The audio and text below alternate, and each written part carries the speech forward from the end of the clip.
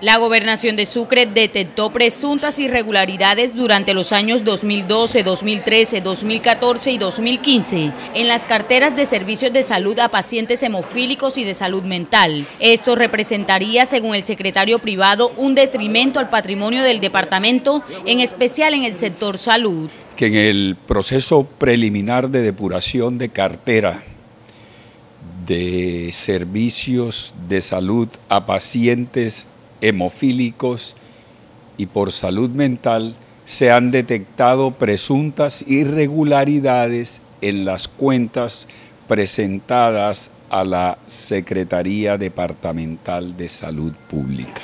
La Administración Departamental pidió a los entes de control investigar estas presuntas anomalías.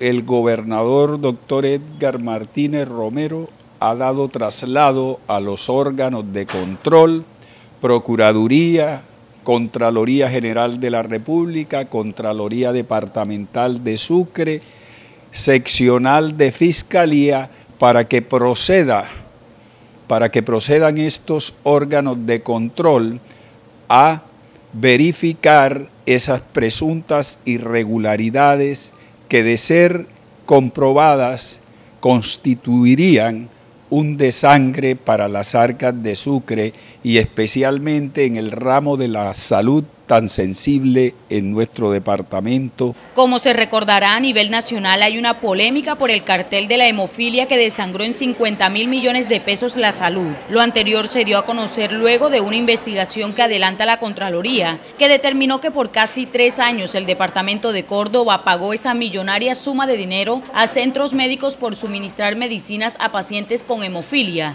que nunca existieron. La hemofilia es un trastorno hemorrágico poco común en el que la sangre no coagula normalmente. Telenoticias para estar bien informado.